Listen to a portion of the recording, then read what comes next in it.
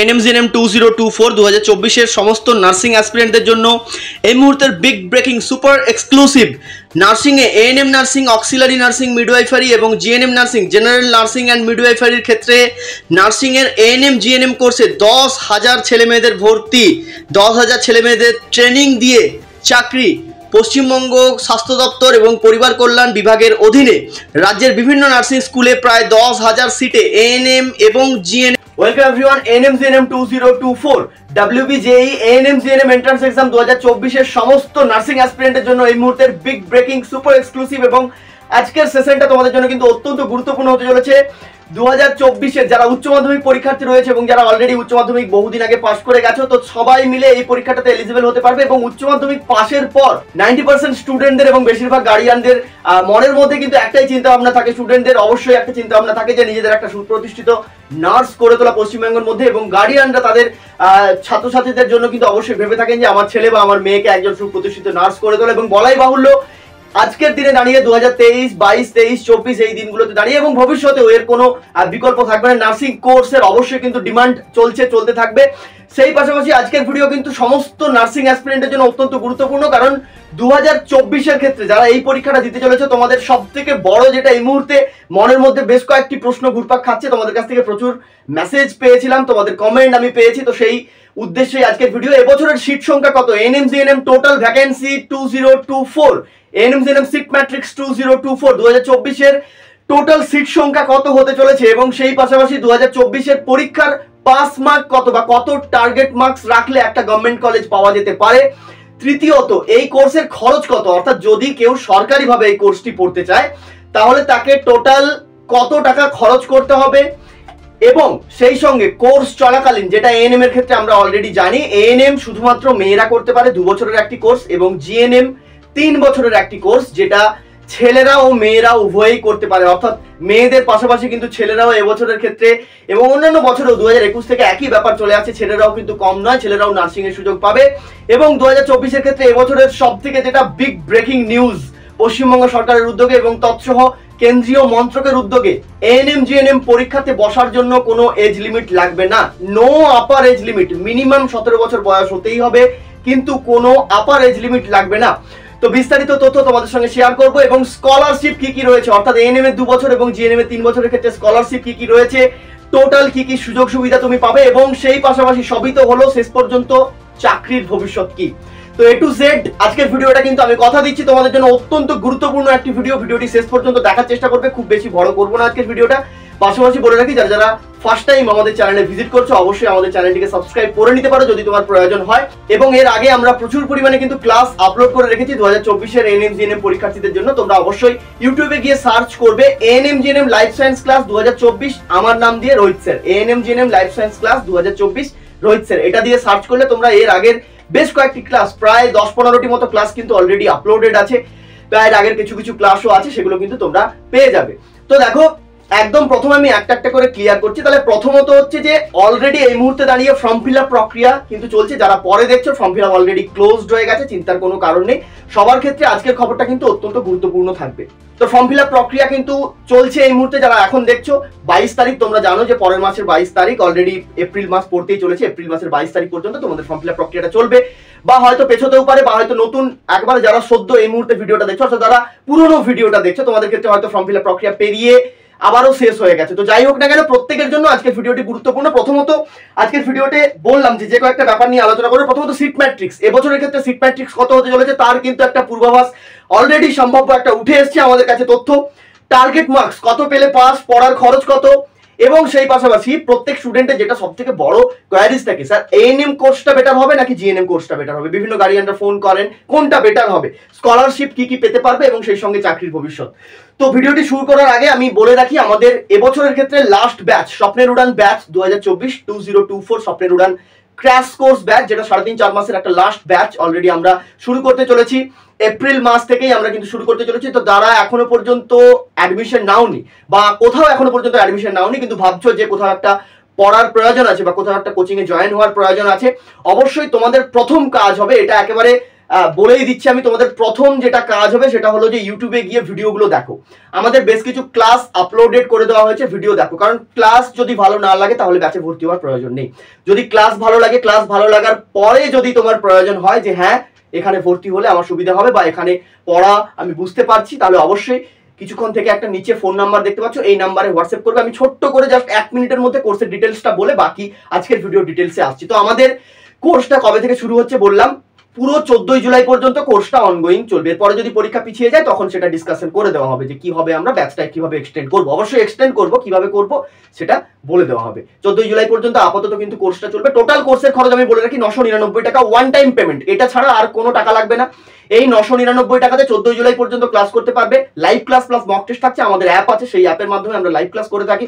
এবং যদি ক্লাস কখনো তুমি মিস করে যাও, তাহলে অবশ্যই কিন্তু রেকর্ডিং ক্লাসের ব্যবস্থা আছে। যারা বিবাহিত বাড়ির কাজের সঙ্গে যুক্ত আছেন বা বাচ্চা কাচ্চা আছে, আপনাদের জন্য কিন্তু একটা খুব ভালো সুবিধা থাকছে। আপনারা রেকর্ডেড ক্লাসগুলোও পেয়ে যাবেন। অন এন অ্যাভারেজ আমাদের প্রত্যেকটা লাইভ ক্লাসই রেকর্ডেড ভার্সন থেকে যায়। মক টেস্ট আমরা প্রত্যেক সপ্তাহে নিচ্ছি স্টাডি ম্যাটেরিয়াল সম্পূর্ণ। আমাদের সমস্ত সাবজেক্ট পড়ানো হচ্ছে, অর্থাৎ আমাদের এন ইঞ্জিনিয়ারিং সিলেবাসের ক্ষেত্রে যে কয়েকটি সাবজেক্ট রয়েছে আপাতত লাইফ সায়েন্স রয়েছে ফিজিক্যাল সায়েন্স রয়েছে ইংলিশ রয়েছে ম্যাথমেটিক্স রয়েছে জেনারেল নলেজ এবং লজিক্যাল রিজনিং টোটাল একশো পনেরো নম্বরের পরীক্ষা, দেড় ঘণ্টার ওএমআর সিটের মাধ্যমে পরীক্ষা হবে। তো সমস্ত সাবজেক্ট পড়ানো হচ্ছে, প্রত্যেকটা সাবজেক্টের আমরা প্রথম দেড় থেকে দু মাসের মধ্যে সিলেবাস কমপ্লিট করাচ্ছি এই কোর্সটাতে এবং তারপরে এক মাস কি দেড় মাস যেটুকুই থাকুক না কেন, আমরা অবশ্যই সেটা রিভিশন করব। এবং প্রত্যেক সাবজেক্টের জন্য আলাদা আলাদা টিচার লাইফ সায়েন্সটা আমি দেখাচ্ছি ফিজিক্যাল সায়েন্সের জন্য তিনজন টিচার রয়েছেন ইংরেজির জন্য দুজন ম্যাডাম রয়েছেন ম্যাথের জন্য দুজন ম্যাডাম এবং একজন স্যার রয়েছে। লজিক্যাল রিজনিং এবং জেনারেল নলেজের জন্য জেনারেল নলেজ এবং লজিক্যাল রিজনিং আমি আছি ম্যাথের স্যার রয়েছেন এবং আহ, স্যার রয়েছেন। তো সবাই মিলে দেখাচ্ছি টোটাল আমাদের স্টাফ এবছরে রয়েছেন যারা তোমাদের ক্লাস করাচ্ছেন টোটাল বারো জন টিচার রয়েছেন। এই টোটাল নশো নিরানব্বই টাকা কোর্সের মধ্যেই সীমাবদ্ধ রয়েছে। স্টাডি ম্যাটেরিয়াল সম্পূর্ণ আমরা দিচ্ছি, তোমাকে বাইরে থেকে কোনো বই নাথিং কিছু কিনতে হবে না। এবং আমি তোমাদেরকে বিগত ভিডিওতে বলেছি, শুধু ওই খামোখা এমসিকিউর চারটা বই কিনে বাজার থেকে পড়ে আজকে আমি তোমাকে বলে যাচ্ছি, খাতা বের করে এখনই লিখে বাড়ির কাউকে একটা দিয়ে রেখে দাও, তুমি পরীক্ষা পাস করতে পারবে না। আমি বলে যাচ্ছি, কারণ এই বেসিস থেকেই বলছি, আমিও চাই, বা আমরা প্রত্যেকেই চাই, যারা আমরা ইউটিউবে কাজ করি, প্রত্যেকেই আমরা চাই যে তোমরা পরীক্ষাতে পাস করো। কিন্তু শুধুমাত্র ওই পন্থা অবলম্বন করে এমসিকিউ মুখস্থ করে বাজার থেকে কানি কানি এমসিকিউর বই কিনে নতুন এবছরের ক্ষেত্রে কি বই বেরিয়েছে, এর আগের বছরে কি বই বেরিয়েছিল হ্যাঁ এগুলো কিনে কোনো রকমের লাভ হয় না, আমি পরিষ্কার বলে দিচ্ছি। তার থেকে তুমি বাড়িতে এমনি বই পড়ো, টেক্সট বই দেন বেটার তাও বেটার আছে। তো এই ব্যাপার, যারা ভর্তি হতে চাইছো, অবশ্যই নিচে দেওয়ার নাম্বারে যোগাযোগ করে। এরপরে আসি সিট ম্যাট্রিক্স এবছরের ক্ষেত্রে সিট ম্যাট্রিক্স কত হতে চলেছে? তো এই মুহূর্তে সম্ভাব্য যেটা উঠে এসেছে, আমি পুঙ্খানুপুঙ্খ বলছি, তোমরা কিন্তু বুঝে যাবে। আমি কোনো রকম মানে অ্যাবসার্ড কথাবার্তা বলব না, যেটুকু ছিল আমি তোমাদেরকে বুঝিয়ে দিচ্ছি। আমি দু হাজার বাইশের কথাতে প্রথম আছি। দু হাজার বাইশের টোটাল সিট তাহলে বললাম যে জিএনএম শুধুমাত্র ছেলেরা এবং মেয়েরা করতে পারবে এবং এএনএম কোর্স শুধুমাত্র মেয়েরা করতে পারবে। এটুকু ক্লিয়ার আছে?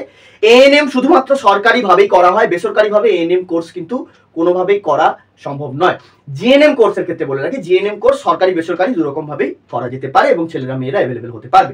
আগে আগে যেটা হতো এএনএম কোর্সে মিউনিসিপ্যালিটির ছেলে মেয়েরা যারা রয়েছে পৌরসভা এলাকা থেকে, তারা অ্যাপ্লাই করতে পারতো না। কিন্তু গত বছর থেকে মাননীয় মুখ্যমন্ত্রী মমতা বন্দ্যোপাধ্যায়ের উদ্যোগে পশ্চিমবঙ্গ সরকারের উদ্যোগে এবং আমাদের পশ্চিমবঙ্গ স্বাস্থ্য ভবনের উদ্যোগে সম্পূর্ণ ব্যাপারটাকে কিন্তু চেঞ্জ করে দেওয়া হয়েছে। ছাত্রছাত্রীদের যাতে ভালো হয়, সবাই যাতে পরীক্ষাতে বসতে পারে। এএনএম কোর্সটা গত বছর থেকে দু হাজার তেইশ এবং এবছরও তার কোনো বিকল্প থাকছে না। পৌরসভার এলাকার যারা স্টুডেন্টরা রয়েছে এবং যারা গ্রাম পঞ্চায়েত এরিয়া স্টুডেন্টরা রয়েছে, সবাই করতে পারবে এবং সেই সঙ্গে এবছরের বয়সটাও তুলে দেওয়া হলো। তো টোটাল বলি, আমাদের যে সিট ম্যাট্রিক্সটা বেরোয় ডাব্লিউবিজেই থেকে প্রতি বছর একটা সিট ম্যাট্রিক্স দেওয়া হয়। তোমরাও কিছুদিন পরে সেটা পেয়ে যাবে। তো এবছরের ক্ষেত্রে এখনও সিট ম্যাট্রিক্স যদিও আসেনি, কিন্তু ভিডিওটি কেন গুরুত্বপূর্ণ? কারণ তোমাদেরকে আমি টোটাল ডাটাটা দিচ্ছি এবং এবছরের ক্ষেত্রে সম্ভাব্যটা প্রবেবলটা বলে দিচ্ছি যে কেন এটা হতে পারে। দু হাজার বাইশের ডাটাতে আসি। টোটাল সিট ছিল সাত হাজার চারশো সাতচল্লিশটা। টোটাল এই টোটালের মধ্যে কারা কারা আছে? এএনএম সিট আছে জিএনএম মেল সিট আছে জিএনএম ফিমেল সিট আছে, এবং সেই সঙ্গে প্রাইভেট আছে। তার মানে private government ANM GNM male female সব কিছু মিলিয়ে সাত হাজার চারশো সাতচল্লিশটা। এবার একটা একটা করে ক্ল্যারিফাই করি। এএনএম শুধুমাত্র গভর্নমেন্টে করানো হয় এএনএম এর গভর্নমেন্টের সিট ছিল আটশো পঞ্চাশটা। আমি আজকে নন গভর্নমেন্ট বা বেসরকারি নিয়ে কিছু বলব না, এবং আজকের ভিডিওতে আমি বেশ কয়েকটা কথা বলব। শেষ পর্যন্ত তোমাদেরকে আমি বুঝিয়ে যাব। যারা এই পরীক্ষাটাকে খুব ক্যাজুয়ালি নিচ্ছ মানে কোনো রকম ব্যাপার না just as a form fill up করতে হয়, করে দিয়েছি, বা যারা ভাবছেন যে আমাদের এত বয়স হয়ে গেছে ফর্মটা কি ফিল আপ করব?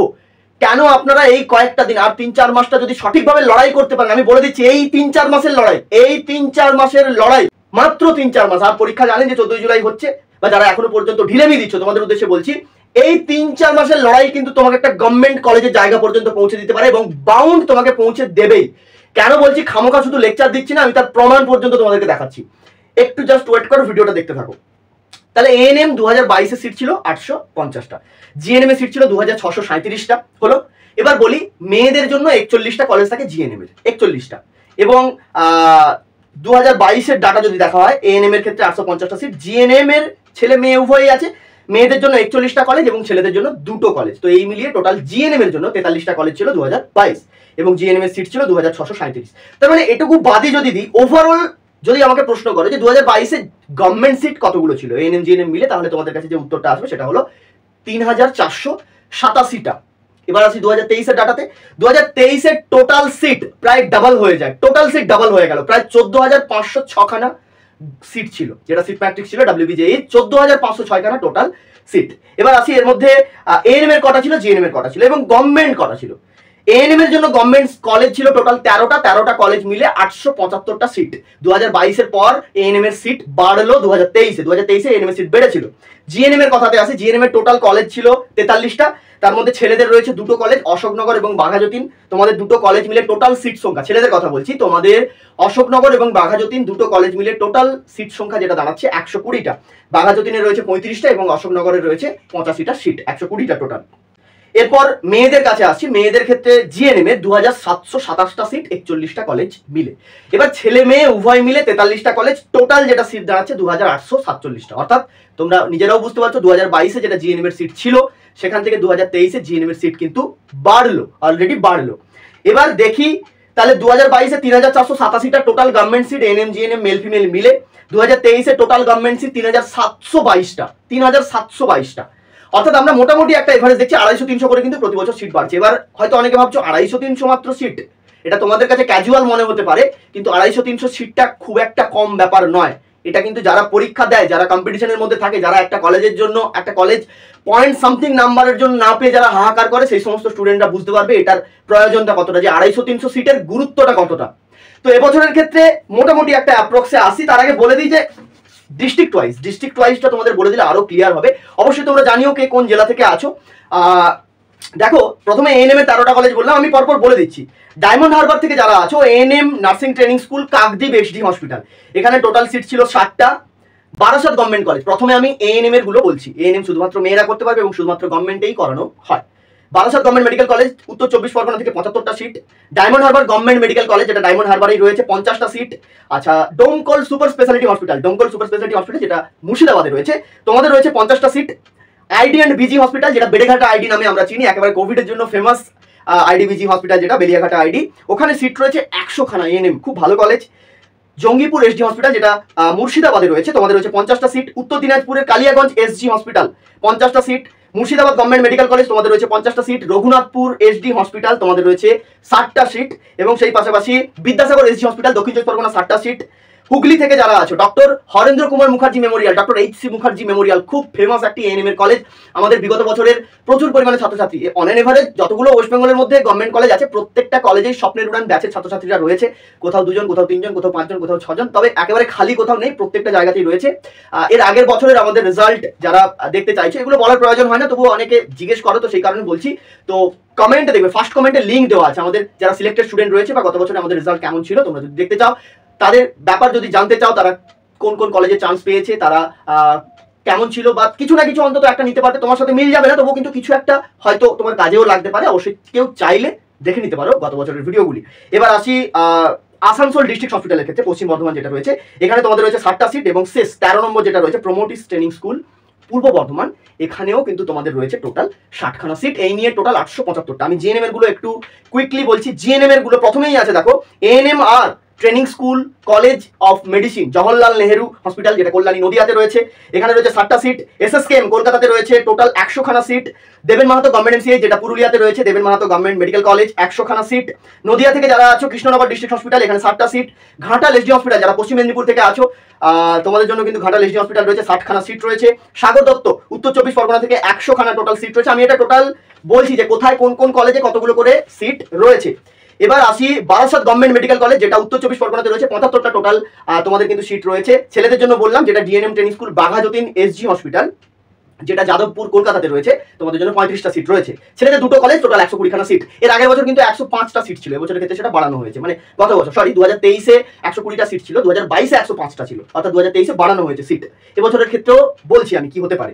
রঘুনাথপুর রেজি হসপিটাল পুরুলিয়া, এখানে পঁয়ষট্টিটা সিট মুর্শিদাবাদ থেকে যারা আছো, জঙ্গিপুর রেজি হসপিটাল, এখানে ষাটটা সিট রয়েছে। লালগড়, ঝাড়গ্রাম লালগড় ডিস্ট্রিক্ট হসপিটাল থেকে যারা আছো, বা জিএনএম ট্রেনিং স্কুল লালগড়, তোমাদের রয়েছে একশোখানা সিট বদতলা, বসিরহাট থেকে যারা আছো এনটিএস বসিরহাট ডিস্ট্রিক্ট হসপিটাল যেটা নৈহাটিতে রয়েছে, পঁয়ষট্টিটা seat Bankura Sammilani medical college যারা বাঁকুড়া থেকে আছো, তোমাদের জন্য বাঁকুড়া সম্মেলনী মেডিকেল কলেজ খুব ফেমাস একটি কলেজ এবং খুব ভালো কলেজ অফকোর্স আমি পার্সোনালিও প্রেফার করি। নাইনটি ফাইভ টোটাল সিট রয়েছে, পঁচানব্বইখানা সিট রয়েছে total Medinipur medical college one and only আমাদের কাছে গর্ব। কারণ আমরা মেদিনীপুর থেকেই আমরা প্রত্যেকে রয়েছি। পশ্চিম মেদিনীপুর থেকে আমাদের কাছে অফকোর্স গর্ব। পশ্চিম মেদিনীপুর মেডিকেল কলেজ খুব ভালো কলেজ, অনেক পুরনো কলেজ, একেবারে টপ মোস্ট কলকাতার যে কলেজগুলো আছে, তাদের সঙ্গে পাল্লা দেয় এবং তাদের আগেও এই কলেজটি কিন্তু হয়েছিল।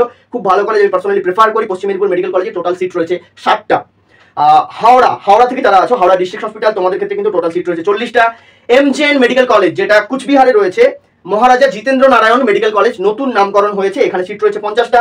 এনআরএস মেডিকেল কলেজ খুব ফেমাস একটি কলেজ টপ মোস্ট কলকাতার যে কলেজগুলো রয়েছে তার মধ্যে অফকোর্স একে দু নম্বরে রাখাই যায়। এনআরএস মেডিকেল কলেজে কিন্তু টোটাল সিট সংখ্যা রয়েছে সত্তরটা। আরজিকর মেডিকেল কলেজ, এটিও একটি টপ মোস্ট কলেজ, এখানে সিট রয়েছে সত্তরটা। এবং ডিস্ট্রিক্ট হসপিটাল দার্জিলিং এ চলে যাচ্ছে। যারা দার্জিলিং থেকে আছে, তোমাদের জন্য কিন্তু পঁচাত্তরটা সিট রয়েছে। দার্জিলিং ডিস্ট্রিক্ট হসপিটালের ক্ষেত্রে শম্ভুনাথ পণ্ডিত শম্ভুনাথ পণ্ডিত থেকে কিন্তু রয়েছে ছত্রিশটা সিট কালিম্পং এনটিএস কালিম্পং থেকে কালিম্পং থেকে যারা আছো nursing training school, Kalimpong district hospital. তোমাদের কিন্তু রয়েছে টোটাল চল্লিশটা সিট। সিউড়ি বা বীরভূম থেকে যারা আছো, সিউড়ি সদর হসপিটাল তোমাদের রয়েছে। টোটাল কিন্তু অনেকগুলো সিট রয়েছে এই কলেজে। একশো খানা সিট রয়েছে। বর্ধমান মেডিকেল কলেজ খুব ভালো একটি কলেজ। বর্ধমান মেডিকেল কলেজ থেকে যারা রয়েছে, তোমাদের ক্ষেত্রে কিন্তু সিট রয়েছে। একশো খানা সিট রয়েছে Purba Bardhaman Bardhaman medical college. Lady Dufferin Kolkata এখানে রয়েছে total পঞ্চান্নটা seat. North Bengal medical college খুব ফেমাস একটি college. NBMCH north Bengal medical college Darjeeling Sushrutanagar এখান থেকে যারা আছো একশো খানা সিট রয়েছে। দক্ষিণ দিনাজপুর থেকে বালুরঘাট ডিস্ট্রিক্ট হসপিটাল পঁয়ষট্টিটা সিট হুগলি থেকে চুচুড়া চিনসুরা হুগলি যেখানে রয়েছে, চুচুড়া ডিস্ট্রিক্ট হসপিটাল তোমাদের রয়েছে ষাটটা seat Murshidabad medical college Murshidabad medical college থেকে কিন্তু যেটা বহরমপুর মুর্শিদাবাদে রয়েছে, তোমাদের রয়েছে ষাটটা সিট তাম্রলিপ্ত মেডিকেল কলেজ পূর্ব মেদিনীপুর, অর্থাৎ যেটা পূর্ব মেদিনীপুর ডিস্ট্রিক্ট হসপিটাল ছিল, সেটা এখন তাম্রলিপ্ত মেডিকেল কলেজ পূর্ব মেদিনীপুর হয়ে গেছে, তোমাদের রয়েছে কিন্তু একশো খানা সিট এরপর এনটিএস গান্ধী মেমোরিয়াল নদিয়া থেকে যারা আছে ষাটটা সিট আলিপুরদুয়ার ডিস্ট্রিক্ট হসপিটাল পঞ্চাশটা seat Saratchandra Chattopadhyay government medical college যেটা উলুবেড়িয়াতে রয়েছে, উলুবেড়িয়া, হাওড়া, উলুবেড়িয়াতে যেটা রয়েছে, তোমাদের ওখানে কিন্তু রয়েছে টোটাল নব্বই খানা সিট ছেলেদের আরেকটি কলেজের কথা বলি, অশোকনগর অশোকনগর তোমাদের রয়েছে পঁচাশিটা সিট যেটা উত্তর চব্বিশ পরগনাতে রয়েছে। ছেলেদের তো দুটোই কলেজ বললাম। আইটিএস চিত্তরঞ্জন সেবা সদন অ্যান্ড শিশু সদন, যেটা কলকাতাতে রয়েছে, এখানে ছাপ্পান্নটা seat NTS Malda medical college তোমাদের রয়েছে পঞ্চাশটা seat MR Bangur MR Bangur Dakshin Chabbish Pargana তোমাদের চল্লিশটা সিট রয়েছে, Jhargram government medical college Jhargram থেকে যারা আছে তোমাদের নব্বই খানা সিট রয়েছে। জলপাইগুড়ি গভর্নমেন্ট মেডিকেল কলেজ যারা জলপাইগুড়ি থেকে রয়েছে আশিটা seat Kolkata medical college one and only মানে এই কলেজের সম্বন্ধে আর কিছু বলার মতো কথা রাখে না। মোস্ট টপ মোস্ট একেবারে এক নম্বরে রাখা যায় কলকাতা মেডিকেল কলেজ। অনেকের স্বপ্ন থাকে Kolkata medical college NRS medical college, North Bengal medical college, Medinipur medical college, Bankura Sammilani medical college.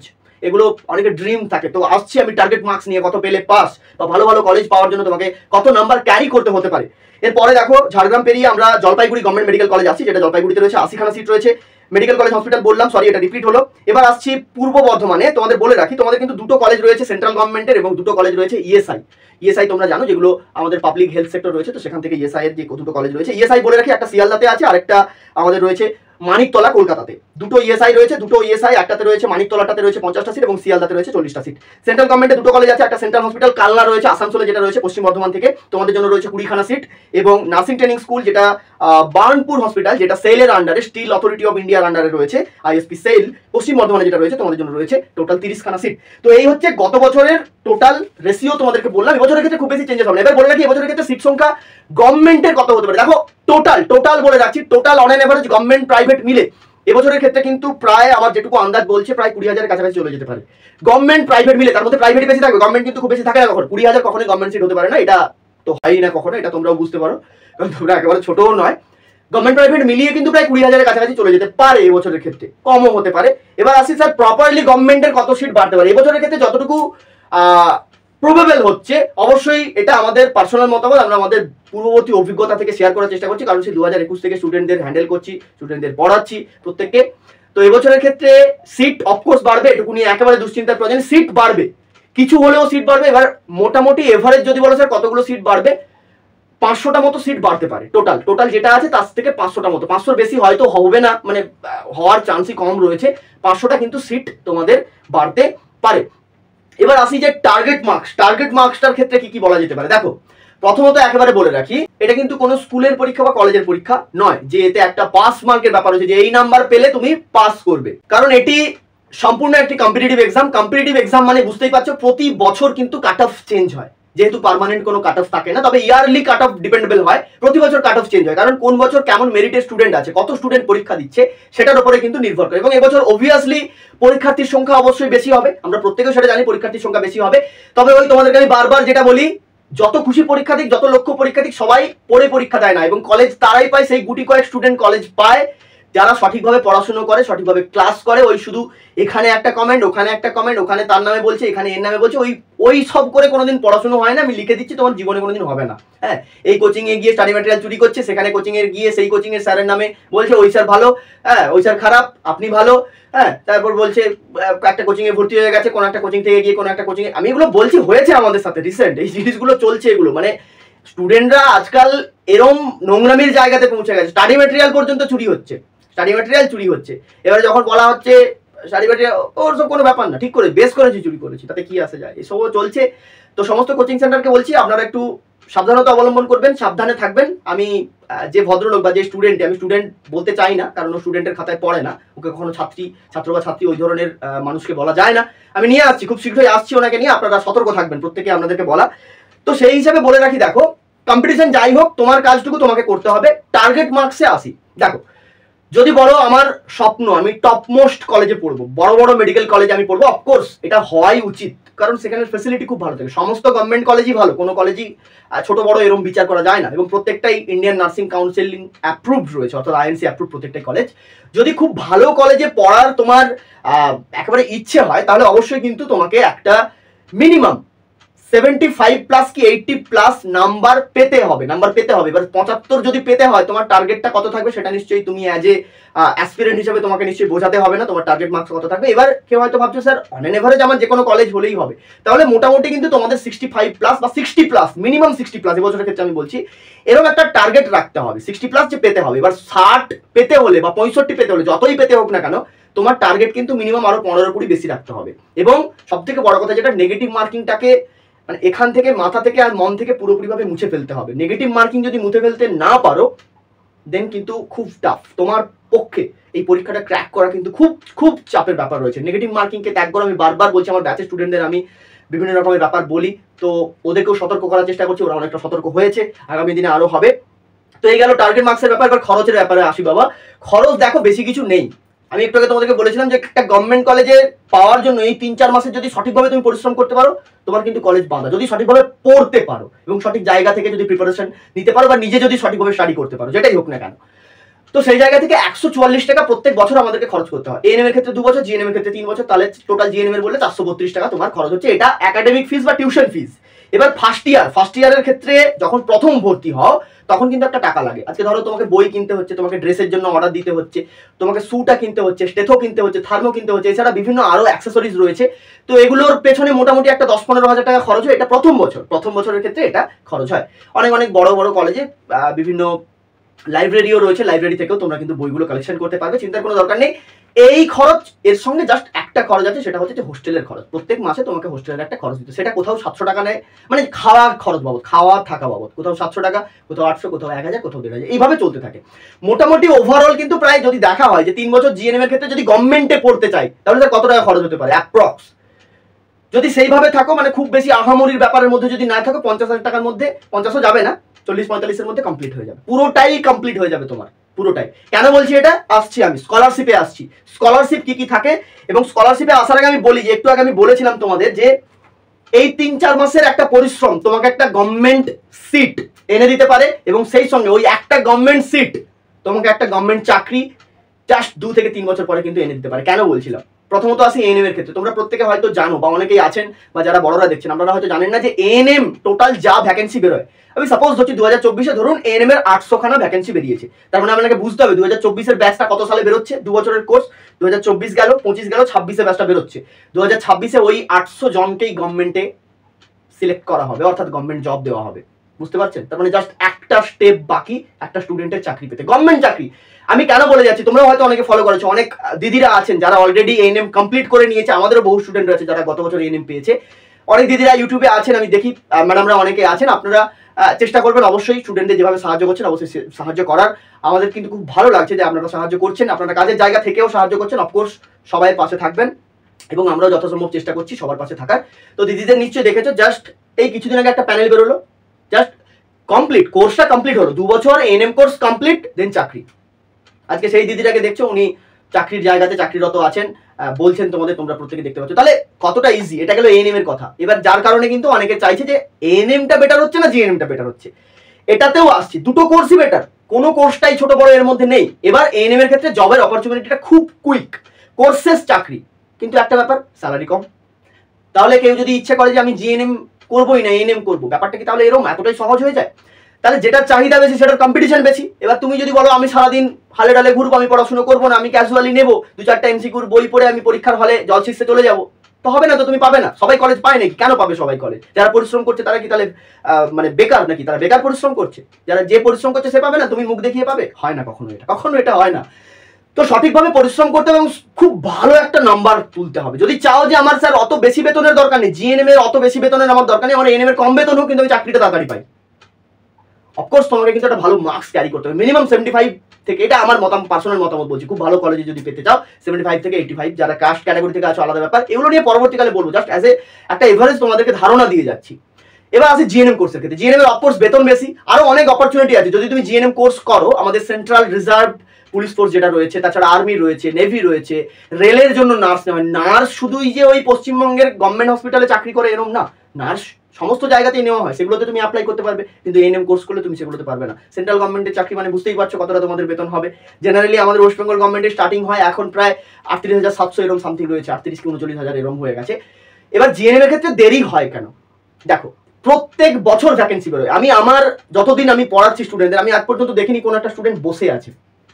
কোনো একটা স্টুডেন্ট বসে আছে। করছে, তারা অফকোর্স প্রাইভেট করছে। হঠাৎ করে যে এক বছর, ধরো আমি দু হাজার চব্বিশে আমার জিএনএম কমপ্লিট আমি খুঁজছি দু হাজার চব্বিশে আমাকে গভর্নমেন্ট কলেজ দিয়ে দেওয়া হোক। হয় এটা কখনো পসিবল আজকে, আজকের দিনে দাঁড়িয়ে অন্যান্য চারপাশের কম্পিটিটিভ পরীক্ষাগুলোকে দেখো তো, কোথায় তোমার এত ভালো সুযোগ আছে যেটা তুমি এখানে পাবে? শুধু খামোখা মানে বকলে তো হবে না, আমি এসে বলে দিলাম যে ইউটিউবে এসে বলে দিচ্ছি নার্সিং করে কিছু হয় না। আপনি আসুন, মুখোমুখি আসুন, একদিন আপনার সামনে আমি বসবো। বসবো? আপনি যুক্তি দেখাবেন, আমি যুক্তি দেখাবো আপনাকে। এবার কথাটা কোথা থেকে আসে? কথাটা আসে যে সময় লাগে, একটু সময় লাগে। সময় লাগবে, কিন্তু তোমার তো এমন নয় যে তুমি পাবে না। পাবে, হয়তো সময় লাগছে, এক বছরের জায়গায় হয়তো দেড় বছর, দু বছর পর্যন্ত কিছু কিছু স্টুডেন্টের লেগেছে, কিন্তু পেয়েছে আলটিমেটলি এবার খুব তাড়াতাড়ি পেতে হলে তোমার একটাই কাজ, যেটা ওই বারবার একটাই জিনিস কমন সেটা হচ্ছে পরিশ্রম করে ভালো করে জিএনএম তিন বছরের নাম্বারটাকে ক্যারি করো। তোমার যেটা জিএনএম এর স্কোর এক জিএনএম যেটা একাডেমিক স্কোর সেটাকে ভালোভাবে তৈরি করো তুমি। দেন আর তোমাকে কিছু চিন্তা করতে হবে না। তোমার মাধ্যমিকে কম থাকুক, উচ্চ মাধ্যমিকে কম থাকুক নাথিং ওখানে যদি স্কোর হাই থাকে, তুমি অটোমেটিক টপ লিস্টে র্যাঙ্ক করবে। বোঝাতে পারলাম? তো চাকরি হয় প্রত্যেক বছর ভ্যাকেন্সি বেরোয়। পশ্চিমবঙ্গ স্বাস্থ্য দপ্তরের তরফ থেকে প্রতি বছর ভ্যাকেন্সি বেরোচ্ছে। মাঝে করোনার জন্য দু বছর অফ ছিল, আজ পর্যন্ত আমি কোনোদিন দেখিনি কোনো বছর ভ্যাকেন্সি বন্ধ আছে বলে। এবং এটা কন্টিনিউয়াসলি চলতে থাকবে। এবং নার্স যেটা মানে আগের থেকে অনেকে অনেকে এগুলো নিয়ে চর্চা করে। আগে আগে যেমন নার্সের ব্যাপারে যেমন ধারণাটা ছিল নার্স করলেই একটা চাকরি ব্যাপার ছিল, এখন আর নেই। সবই আছে, বরং আরও বেশি আছে। আমি বলব, আমাকে যুক্তি দেখান, আমি বলব আপনাকে অনেক বেশি আছে। যদি কখনো হয়, আমি বলব, কোন যুক্তিতে আমি বলছি, বেশি আছে। পেশেন্টের সংখ্যা বাড়ছে হসপিটালের সংখ্যা বাড়ছে, সব। মেডিকেল সেক্টর নিয়ে যারা পড়াশোনা করছ, আমি বলে রাখছি, তোমাদেরকে অন্তত মানে পাবো কি পাবো না, এই ধারণাটা মাথা থেকে বের করে দিয়ে, যে সময়টা তোমার প্রিপারেশন সঠিকভাবে, সেই সময়টাকে শুধু কাজে লাগাও।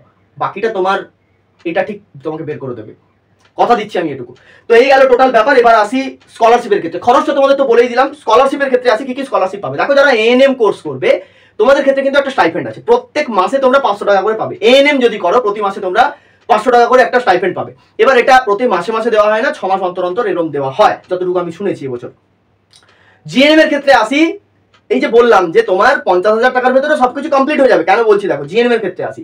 জিএনএম মোটামুটি তোমাদের ক্ষেত্রে সেরকম আলাদা কিছু নেই, তবে তোমাদের একটাই স্কলারশিপ যেটা একবার ধামাকা স্কলারশিপ সেটা হচ্ছে প্রতি বছর আঠেরো হাজার টাকা করে আঠেরো দিনে ছত্রিশ হাজার টাকা Swami Vivekananda merit cum means scholarship যেটা নবান্ন থেকে দেওয়া হয় মাননীয় মুখ্যমন্ত্রী এবং পশ্চিমবঙ্গ সরকারের মাননীয় মুখ্যমন্ত্রী মমতা বন্দ্যোপাধ্যায়ের উদ্যোগে এবং পশ্চিমবঙ্গ সরকারের উদ্যোগে Swami Vivekananda merit cum means scholarship যেটা সমস্ত স্টুডেন্টদের জন্য, সেটা মেডিকেল হোক ইঞ্জিনিয়ারিং হোক, অন্য কিছু হোক সব কিছুর ক্ষেত্রে জিএনএম এর ক্ষেত্রে আঠেরো দিনে ছত্রিশ হাজার টাকা, যারা বিএসসি নার্সিং করবে, প্রত্যেক বছর ষাট হাজার টাকা করে যারা বিএসসি নার্সিং করবে। ভাবতে পারছ? চার বছরের কোর্স টোটাল স্কলারশিপ দাঁড়াচ্ছে দু লক্ষ চল্লিশ হাজার টাকা। বুঝতেই পারছ? এবার আসি যারা এসসি এসটি ওবিসি অর্থাৎ যারা সংখ্যালঘু সম্প্রদায় থেকে রয়েছে, তাদের জন্য পশ্চিমবঙ্গ সরকারের উদ্যোগে ঐক্যশ্রী স্কলারশিপ আছে, তোমরা এটা আবেদন করতে পারবে। যারা শুধুমাত্র এসসি এবং এসটি শিডিউল কাস্ট এবং শিডিউল ট্রাইব থেকে যারা রয়েছে, তোমাদের জন্য ওএসি স্কলারশিপ আছে, তোমরা এটার জন্য কিন্তু আবেদন করতে পারবে। তো এই গেল স্কলারশিপের ব্যাপার। তাহলে একটা পরীক্ষা, সেখানে তুমি কলেজ পেলে, হয় এএনএম এর স্টাইপেন্ড পাচ্ছ, নাহলে তুমি জিএনএম এর যদি কলেজ পাও, সেখানে তুমি এত ভালো একটা স্কলারশিপ পাচ্ছ। এই তিন চার মাস মাত্র টাইম এই তিন চার মাসটাকে আমি বারে বারে কথাটা এই কারণে বলছি জাস্ট যদি এএনএম এএনএম করারই যদি আমি বললাম দুটো কোর্সই ভালো প্রস কনস সব কিছুই ক্লিয়ার করলাম, তারপরেও যদি কারও ইচ্ছে হয়, আমার অত ভেতরে চাকরি দরকার নেই, আমার তাড়াতাড়ি চাকরি দরকার। অফকোর্স তোমাকে এএনএম করতে হবে তাহলে। জাস্ট এএনএম কলেজ পাওয়া থেকে চাকরি পাওয়া পর্যন্ত দু বছর গ্যাপ থাকে জাস্ট ওই কোর্সটাকে কমপ্লিট করার জন্য। হাইফাই একটা টার্গেট মার্কসকে রেডি করো এবং সেইভাবে নিজেকে প্রস্তুত করো এবং সেই পাশাপাশি যারা ভর্তি হতে চাইছো, আমাদের software Udaan batch two zero two four crash কোর্সে অফকোর্স খুব শীঘ্রই যোগাযোগ করো, তবে ক্লাস দেখার পর এতগুলো তথ্য তোমাদেরকে শেয়ার করলাম, ভিডিওটি যদি ভালো লাগে কিন্তু লাইক করতে ভুলো না। সমস্ত ছাত্রছাত্রীদের মধ্যে ভিডিওটিকে ছড়িয়ে দাও, তোমাদের যারা বন্ধু বান্ধবী রয়েছেন, যারা গার্ডিয়ানরা দেখছেন, বড়রা যারা দেখছেন, আপনাদের পাশাপাশি যারা পরীক্ষা দেবে বা সমস্ত জায়গাতে আপনাদের ছাত্রছাত্রী বা আপনার ছেলে মেয়ের মধ্যে জিনিসগুলোকে ছড়িয়ে দিন অফকোর্স তাদেরকে বোঝান, যদি কোর্স করতে চান অফকোর্স কিন্তু আসতে পারেন, খুব ভালো একটা অপরচুনিটি তো কমেন্টের মাধ্যমে জানিও ভিডিওটি কেমন লাগল। অবশ্যই জানাতে ভুলবে না লাইক করো শেয়ার করে দিও, আর যেমনটা বললাম, যারা যারা ফার্স্ট টাইম চ্যানেল ভিজিট করছ, যদি প্রয়োজন হয় চ্যানেলটিকে সাবস্ক্রাইব করতে পারো। তো আজকের মধ্যে এখানে শেষ করলাম। আজকের ভিডিওটি আর দীর্ঘায়িত করব না। অবশ্যই নেক্সট আপডেট নিয়ে খুব শীঘ্রই তোমাদের কাছে আসছি। ততক্ষণ পর্যন্ত প্রত্যেকে ভালো থেকো। লড়াইটাকে চালিয়ে যেও। থ্যাংক ইউ সো মাচ প্রত্যেককে। অসংখ্য